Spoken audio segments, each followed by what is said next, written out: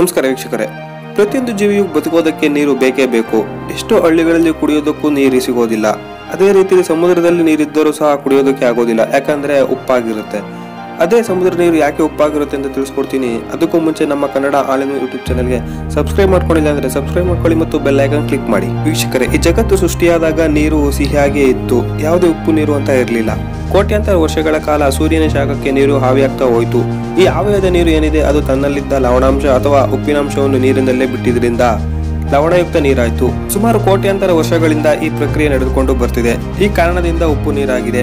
ನದಿಯ ನೀರಿನಲ್ಲಿ ಉಪ್ಪಿನಾಂಶ ಇರುತ್ತೆ. ಈ ನದಿಯ ನೀರು ಸಹ ಸಮುದ್ರ ಸೇರಿ ಮತ್ತೆ ಉಪ್ಪಿನಾಂಶ ಅಲ್ಲೇ ಉಳಿಸಿ ನೀರು ಆವಿಯಾಗುತ್ತದೆ ಮತ್ತೆ ಆವಿಯಾದ ನೀರು ಮಳೆ ರೂಪದಲ್ಲಿ ಬೆಟ್ಟ, ಗುಡ್ಡ ನದಿಗಳ ಮುಖಾಂತರ ನೀರು ಸಮುದ್ರಕ್ಕೆ ಬರಬೇಕಾದ್ರೆ ಎಲ್ಲಾ ರೀತಿಯ ಕಸವನ್ನು ಹೊತ್ಕೊಂಡು ಸಮುದ್ರಕ್ಕೆ ಬಂದು ಸೇರುತ್ತದೆ. ಮತ್ತೆ ಅದೇ ರೀತಿ ನೀರು ಆವಿಯಾಗುತ್ತದೆ. ಲವಣಾಂಶ ಅಲ್ಲೇ ಉಳಿಯುತ್ತದೆ. ಈ ಪ್ರಕ್ರಿಯೆ ಸಾವಿರಾರು ಲಕ್ಷಾಂತರ ವರ್ಷಗಳಿಂದ ಈ ರೀತಿ ನಡೀತಾನೆ ಇದೆ. ಅದೇ ರೀತಿ ಕೆರೆಗಳಲ್ಲಿ ನೀರು ಯಾಕೆ ಉಪ್ಪಾಗಿರಲ್ಲ ಅಂತ ಅಂದ್ರೆ ಕೆರೆ ನೀರು ತುಂಬಾ ವರ್ಷಗಳ ಕಾಲ ಇರೋದಿಲ್ಲ. ಕೆರೆ ಒಣಗಿ ಹೋಗುತ್ತದೆ. ಮತ್ತೆ ಹೊಸ ನೀರು ಮಳೆಯ ರೂಪದಲ್ಲಿ ಬರುತ್ತದೆ. ಅದಕ್ಕೆ ಕೆರೆ ಕಟ್ಟೆಗಳು ನೀರು ಉಪ್ಪಾಗಿರೋದಿಲ್ಲ. ಯಾವ ದೇಶವು ಎಷ್ಟೇ ಮುಂದುವರೆದರೂ ಸಮುದ್ರದ ನೀರನ್ನು ಒಂದು ಕೆಮಿಕಲ್ನಿಂದ ಸಿಹಿ ನೀರನ್ನಾಗಿ ಮಾಡಲು ಸಾಧ್ಯವಿಲ್ಲ. ಇದು ಪ್ರಕೃತಿಯ ನಿಯಮವೇ ಸರಿ. ವಿಜ್ಞಾನವು ಎಷ್ಟೇ ಮುಂದುವರೆದರೂ ನಾವು ಕೆಲವು ಪ್ರಕೃತಿಯ ವಿರುದ್ಧ ನಡೆಯಲು ಸಾಧ್ಯವಿಲ್ಲ ವೀಕ್ಷಕರೇ. ಇಷ್ಟು ಈ ವಿಡಿಯೋದ ಮಾಹಿತಿ. ಈ ವಿಡಿಯೋ ಇಷ್ಟ ಆಗಿದ್ರೆ ನಮ್ಮ ಯೂಟ್ಯೂಬ್ ಚಾನಲ್ಗೆ ಸಬ್ಸ್ಕ್ರೈಬ್ ಆಗೋದನ್ನ ಮರಿಬೇಡಿ. ಹಾಗೆ ಲೈಕ್ ಮಾಡಿ, ಶೇರ್ ಮಾಡಿ. ಸಿಗೋಣ ಮುಂದೆ